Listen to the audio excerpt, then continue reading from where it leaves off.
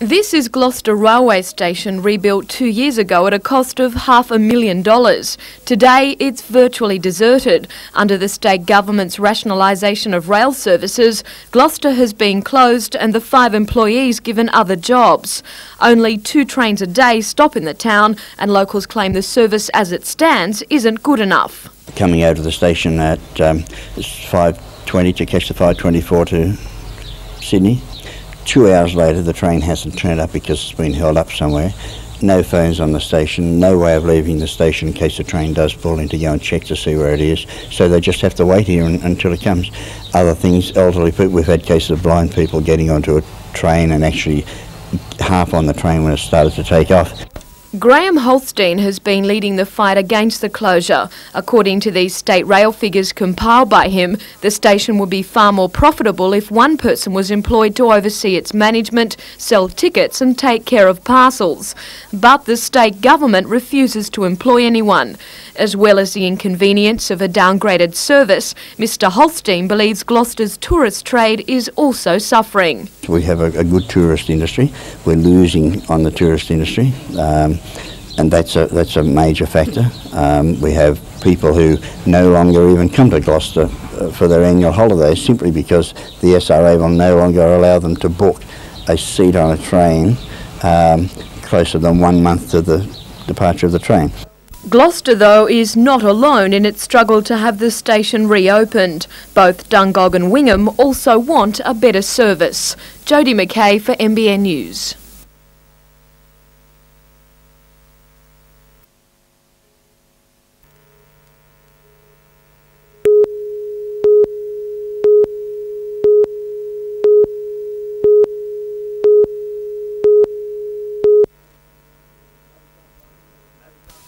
Maps outlining the proposed boundary changes were first released publicly last Friday. One of the most serious anomalies concerns the division between the Swansea and Charlestown electorates.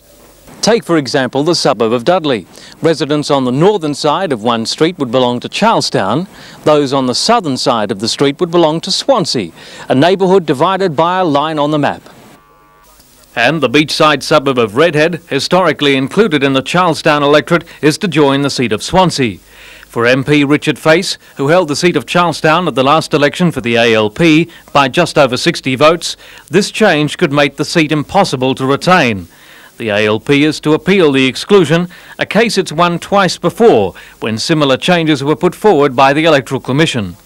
Member for Swansea Ivan Welsh believes the boundary change is politically motivated it doesn't make any sense either logically, geographically, or uh, uh, demographically whether we have uh, Redhead and Dudley or uh, the Eleebana uh, Valentine side. And I think that's either been done uh, as a snipe at Richard Face or as a blatantly political move. The Hunter's other independent, George Keegan, faces changes to the seat of Newcastle. Stockton will now be included in his seat and not Port Stephens. While he may feel the heat of an ALP backlash from that suburb, he says the residents there have been used as pawns to prop up the marginal seat of Port Stephens for too long and rightfully belong back in Newcastle. It's been acknowledged that there's a strong Labor uh, area in it as a suburb and uh, they've been taken for granted and placed in a position where their votes are only be used just for political power. There's been no thought about giving them service back for those votes.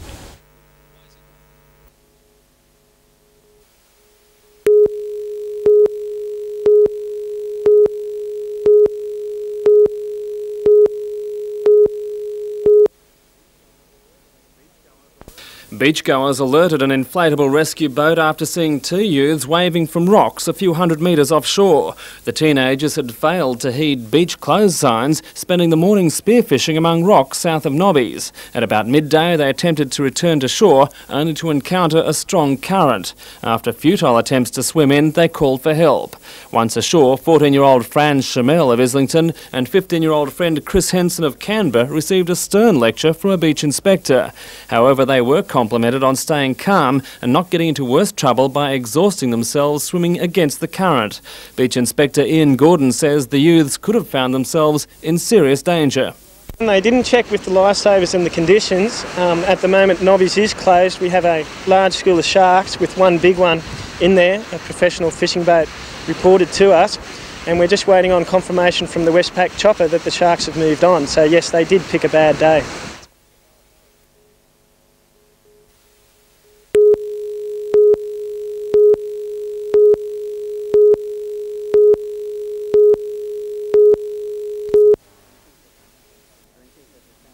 Drinkers at the Central Coast's Kincumber Hotel could be forgiven for wondering exactly what was in their brew. Two larger than life ladies were in town, keen to celebrate a birthday with some cake and a few not so quiet beers. I noticed you didn't ask them for any sort of proof of age then. Oh, Bruce, by the looks of their skin, I'm sure they're old enough. In fact, Bambi, the more petite of the two Indian elephants, turned 30 today, and the people from the Perry Brothers Circus thought it only fitting to help her celebrate. Dangerous to go drinking with an elephant at all? Well, not really, not unless you get into a shout with them, then you're in real trouble. And with a combined body weight of seven tonnes, we're assured a few medicinal buckets of beer won't be enough to put them over the limit come showtime. Bruce McKenzie, NBN News.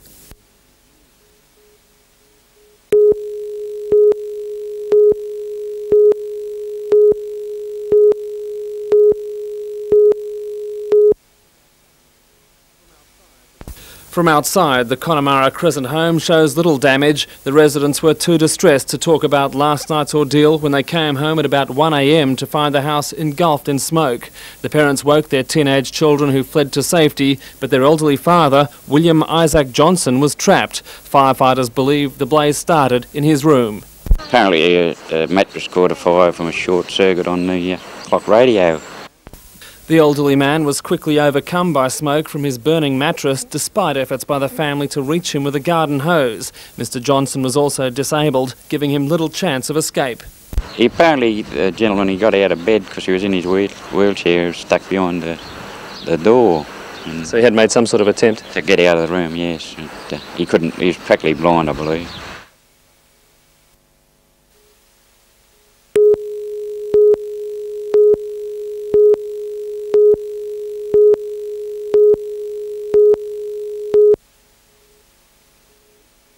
The long haul to world champion status has finally paid off for Sharon with an excellent effort to capture the title at Henley Beach in Adelaide last weekend. Today at Belmont, Sharon reflected on the last 12 months. I, I came third last year, so I was really hoping to do well, but I, I wasn't too sure. I, I, you know, the competition was a lot harder this year, so I'm, re- I'm really pleased. But with every milestone you reach, another one appears, and a step up in class to achieve her new ambition of reaching Barcelona is just around the corner. I want to try um, in the Olympic class, start sailing Division 2 boards, and head back over to Europe and try and get some experience over there and see what happens from there. And the road to Spain starts in Brisbane on the weekend. We're off to um, Brisbane on next Thursday for our pre-Olympic trials. Um, it's not a, a really major regatta, but um, the ne- the most important thing is our Australian titles, which are on in April this year. So from now on, I guess I'll just be training for those.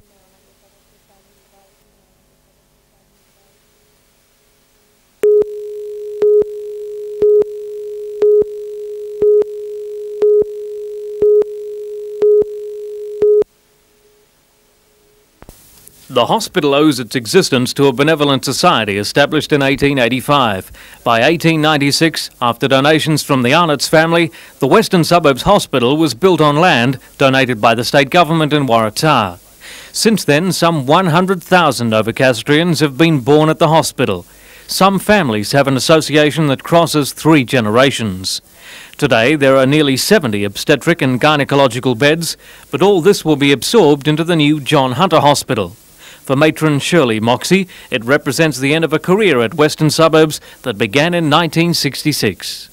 We have been fortunate in the fact that we have been relatively small and have been therefore able to easily maintain that intimacy that has accompanied the service here over the years. The Western Suburbs Hospital in recent years has become the low risk maternity unit.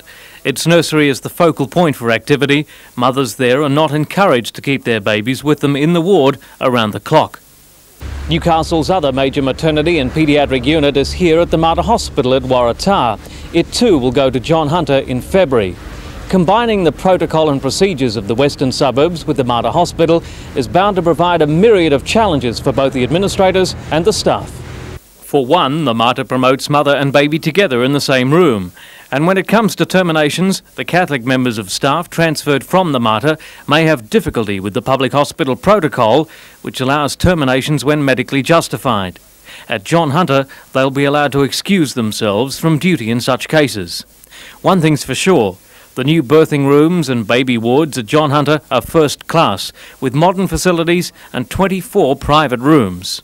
So, really, it has been a hospital that the community has great input to the design of. So, I think that's one of its very good features.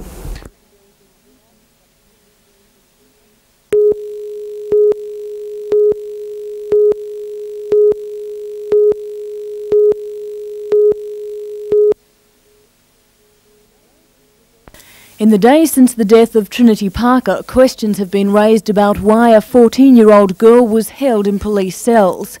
A submission by an ALP branch last year suggests that Trinity's case was not the first time a juvenile was held in police custody for an extended length of time.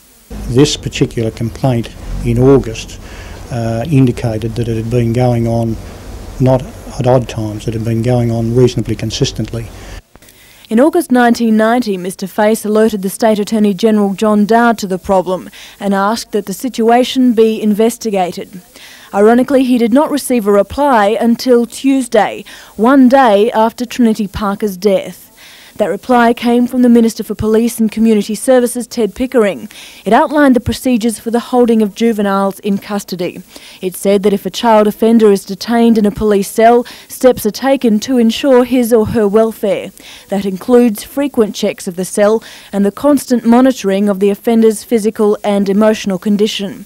It continues in the event that confinement appears to be having an effect on the child, immediate steps are taken to provide medical attention or transfer refer the offender to a detention centre.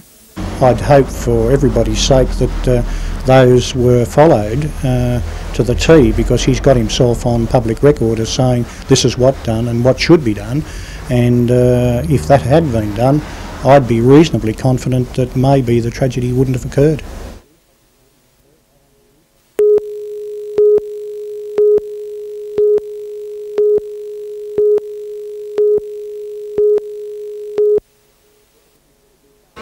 Well, as you can see, the South Steyne is just docking in Newcastle now. Uh, it's running a few hours late after a slow departure from Sydney. However, that hasn't dampened the enthusiasm of hundreds of people who've lined the harbour here to watch it arrive. And Newcastle turned on a suitably maritime welcome to this grand old lady of steam, providing a flotilla of smaller craft to escort the vessel into the port. But it's only here beside the dock that they can get an idea of the quite uh, magnificent proportions of this vessel. The twin funnels are about the same height as a four-storey building. Uh, when it comes to the interior, we believe that's quite lavish. However, at this stage, the owners say they're not letting anyone on board. They want to clean it up after it's quite a long voyage from Melbourne to Newcastle. They say, however, they will open it for uh, an inspection on Sunday, and they believe they'll be up and running as a restaurant uh, within about a month's time. Tracy.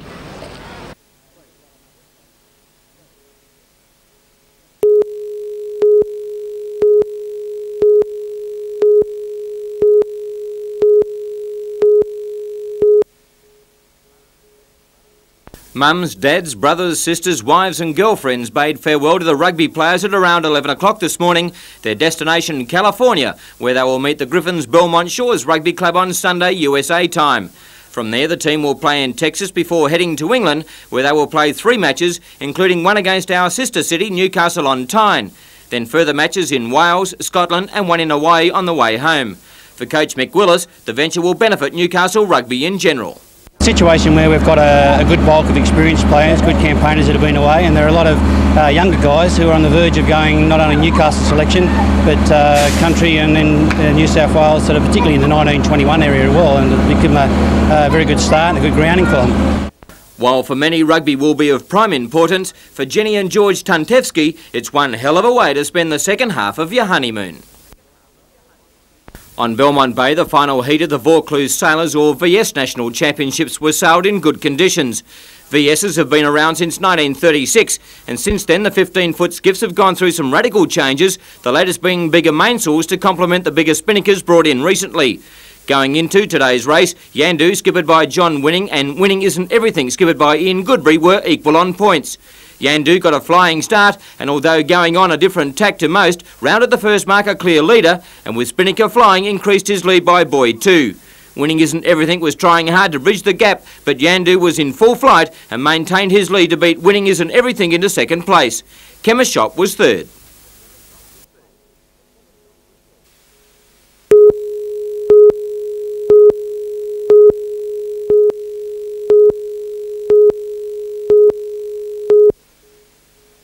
Representatives from each state and from New Zealand took part in the opening ceremony at the basketball stadium this morning, with Newcastle's Lord Mayor John McNaughton officially launching the tournament. First stage in 1973, the Veterans Championship of Australasia is now one of the fastest growing tournaments in the country, and there is definitely no room for hit and giggle anymore. It's a very, very severe competition, and the hit and giggle business went out with the ark. No, it's, it's um, a high standard of competition, and uh, the veterans really enjoy their tennis, and they want to win.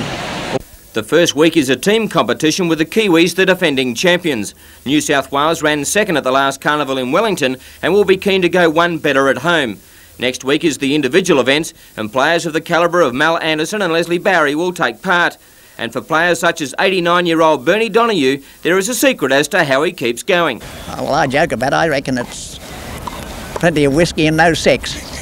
But along with the seriousness of the tennis, there is the lighter side. I can relax and enjoy a terrific week with uh, friends and people my own age group and be back into competition again. We come from Perth, Western Australia. We travel a long way. We went to New Zealand and all sorts. We really get to know Australia and all Australian. Well, we're a very competitive uh, country, New Zealand, and we're really looking forward to mixing with the Australians. They came last year to Wellington. We enjoyed their company. Most certainly the most enjoyable tennis to play today. Um, there's no bad line calls. Everyone's having fun. It's enjoyable, and uh, yes, it's uh, certainly better than any other tennis that I'm playing at the moment.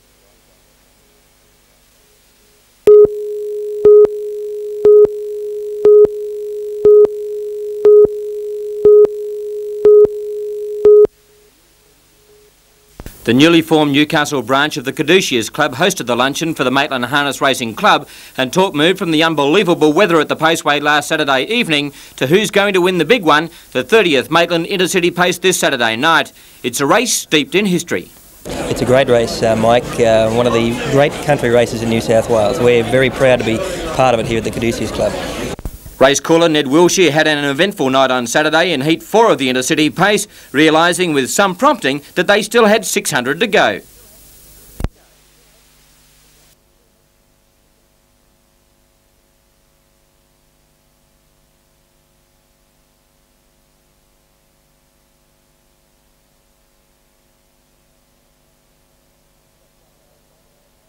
Just one of those lapses, those things happen.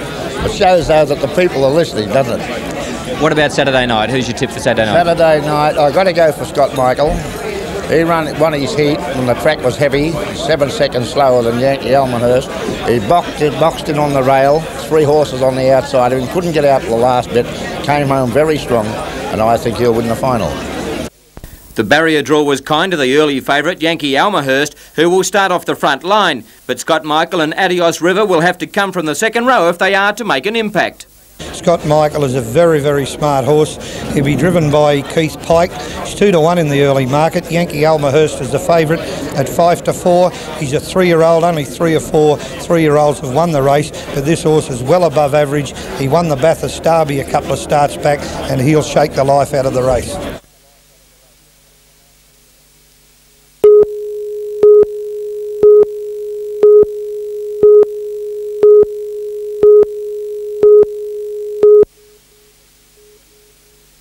Police and representatives of the heavy transport industry were together again today to hand over the first tangible sign of their new spirit of cooperation. Have a Chat was conducted in December in an attempt to foster better understanding between police and truckies and diffuse their head-on confrontations on the highways. The word is spreading. It's very difficult on the road uh, for both sides to do their job, and I think perhaps uh, just to talk to each other on a more agreeable basis uh, was helpful. The Angel One rescue helicopter appeal benefited from donations of more than $1,500. The $2 million aircraft relies on public support to keep it flying. Since it went into service in July, the chopper has flown 300 missions. If we don't have uh, ongoing support from groups such as this, we uh, we simply can't operate. So it's very, very important to us to receive that ongoing funding.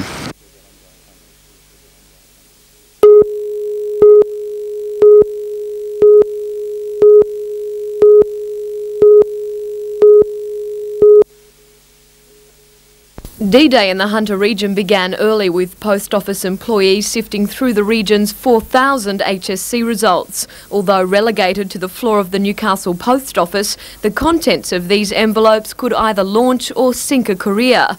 After almost two months of waiting, the suspense for some was almost unbearable, while others wished the moment had never come. But with the tear of the envelope, there was no turning back.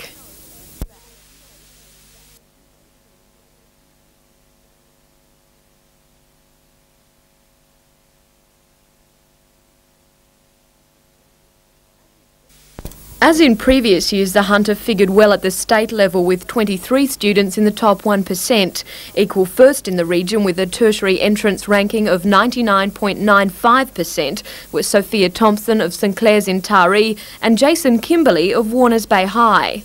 It was about the same as I expected a little bit higher.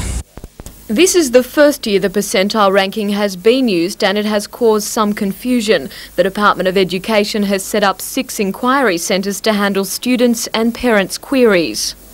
HSC Inquiry Centre, Trevor Swan. The offices will be opened until the end of the week, but comparisons with previous years can be worked out by reading the University Admissions Handbook. A ranking of 80 at the moment uh, would be equivalent to a score of about 345 in the past.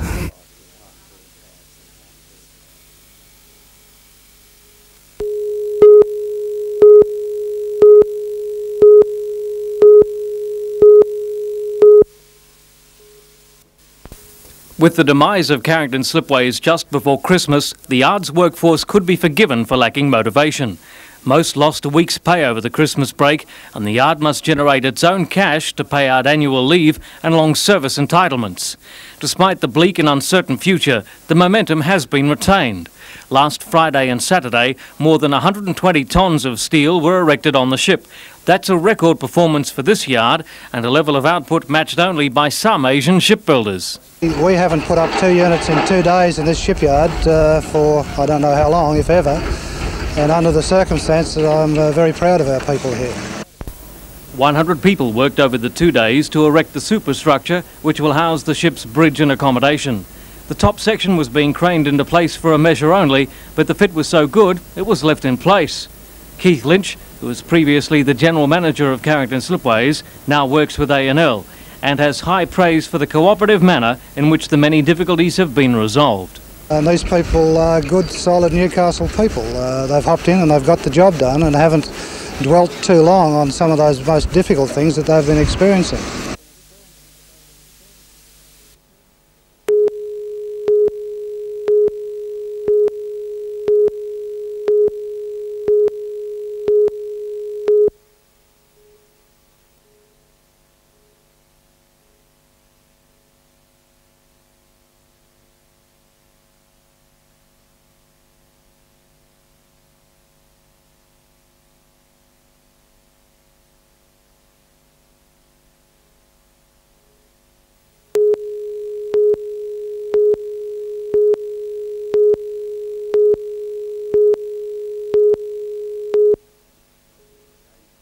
The days of coaches and parents bellowing from the sidelines of junior soccer games may soon be a thing of the past. The popularity of the sport has been waning with youngsters, but now it seems methods have turned full circle. Hopefully these courses will reinforce to the lads that they can enjoy the game by fun learning. Ken Kaiser, who has been running clinics for a decade, sees them as a valuable investment in the sport. 70 young players from Newcastle and country areas are taking part, with National League and Australian representative coaches such as Joe Sencalci. The clinic identifies players who might continue their training at the Australian Institute of Sport in Canberra. Tony Bashford of Holmesville is after a place in the Australian Women's World Cup team. She's also the only girl on the paddock.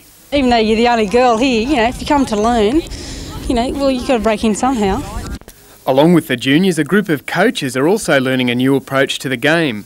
They've soldiered through a week of written and practical tests for their Level 2 accreditation. Well, to coach kids in youth development is probably one of the best experiences you'll ever have.